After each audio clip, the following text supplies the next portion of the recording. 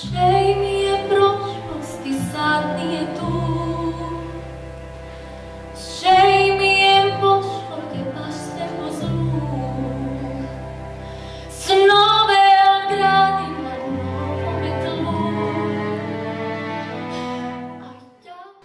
Dragi ljubiteljice, poštovani ljubitelji Varaždinskog kazališta, gotovo sam siguran da ste već imali priliku primijetiti, ako ne još bolje i vidjeti, mjuzikl koji se već neko vrijeme nalazi na repertuaru ove institucije, a u pitanju je dakle predstava, odnosno mjuzikl pod nazivom Prošlih pet godina. Oni koji su naravno bili ovdje gledali znaju da je u pitanju jedna onako emocijama, pa čak na momente i humorom nabijena ljubavna priča između njega i nje, odnosno oni koji su bili, koji su gledali, odnosno slušali, vidjeli su da žensko lice tumači Hana Hegedušić. E ovoga puta jedna mala, mala promjena, jedna mala, mala izmjena s obzirom kako se u alternaciji dakle nalazi i Irma Dragičević koja će zamijeniti Hanu zbog njezinih obligacija. Dakle, gospođa Hegedušić mora naravno raditi i na ostalim projektima, ali se čini se po svemu sudići i više nego jako dobro u ovu ljubavnu priču uklopila i Irma koju smo ulovili par minuta, dakle prije početka samog mjuzikla ovdje u Šminkeraju. Irma, prije svega lijep pozdrav tebi, znam da možda ne možeš sad... Mogu. Možeš. ok, pozdrav tebi, Bog. Evo, dakle, jedna zanimljiva priča, jedna zanimljiva zamjena izmjena, uletila si u ulogu Hane Hegedušić, musical, nekoliko riječi možda o, samom, dakle, tom procesu rada, o samom muziklu, kako si se zapravo snašla?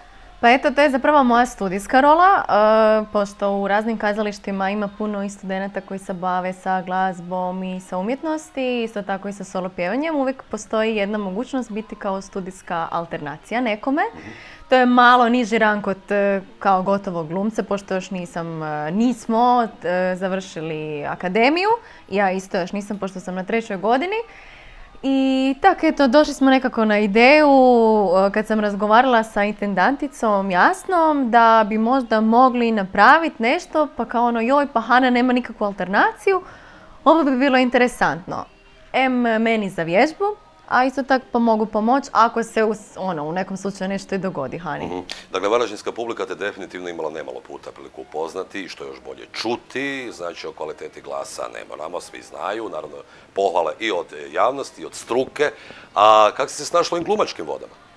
Pa super, pošto ja jako volim taj musical i opera musical. Musical mi se više sviđa zbog toga što je unutra ples, gluma i pjevanje.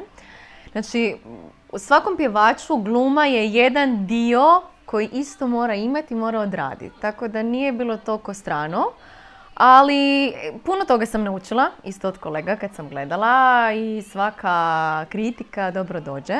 Tako da evo, mogu reći, bar sa moje strane da sam se dobro snašla i naravno više smo glancali neke detalje što bi moglo više, na primjer nekakvi pokreti koji u sobi možda izgledaju više skučenije ih napravimo, a na sceni treba, treba se biti otvoreno i veliko. Ne? Takve neke sitne razlike, ali da je za vježbu i školu stvarno super. U kojoj ti je mjeri pomagala, odnosno usmjeravala te redateljica, ale Anestezija Fleger?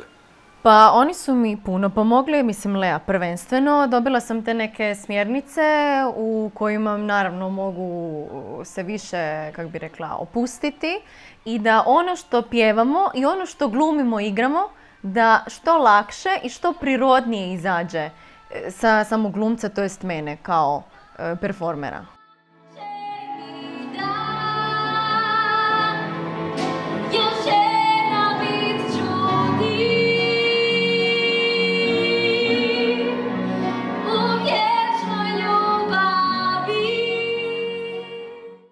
Kakva ti je sama priča, možda preporuka onima koji do sad nisu imali priliku gledati i vidjeti? Pa meni je priča super, ljubavna je. E, mislim da svi ljudi vole ljubavne priče. Sad e, ne mogu vam reći kaj se zapravo zbiva. Morate svi doći na predstavu. E, ali mi se sviđa koncept priča gdje ja kao Katie, pošto su dvije role, Katie i Jamie, ja počinjem priču od kraja naše petogodišnje veze, dok Jamie između počinje od početka i sastanemo se u sredini i onda se opet raziđamo. Mislim... Šmrc!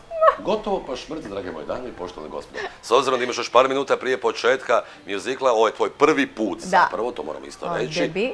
Preporuka zbog čega bi svi oni trebali doći i vidjeti prošlih pet godina. Mislim da sam mjuzikal, sama forma mjuzikla je vrlo interesantna i vrlo je zabavna, nije ozbiljna, znači ima i plesnih dijelova, i glumačkih, i pjevačkih i mislim da bi svi trebali doći pogledati musical i stvarno naučiti što znači musical i uživati u njemu. Znači to je ujedno bio i poziv. Tako je. Irma, hvala ti puno na razgovor. Ovdje si ti, s tobom ću krila.